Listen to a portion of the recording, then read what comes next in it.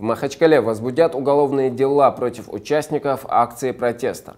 Сотрудники полиции собрали материалы для возбуждения более 10 уголовных дел в отношении участников несанкционированных акций против частичной мобилизации. Об этом сообщает издание МК в Дагестане с ссылкой на председателя Координационного совета НКО Дагестана Шамиля Хадулаева. Сегодня общественники по обращению граждан посетили советский РОВД, где в отделе находится порядка 100 задержанных молодых людей, в том числе и девушек.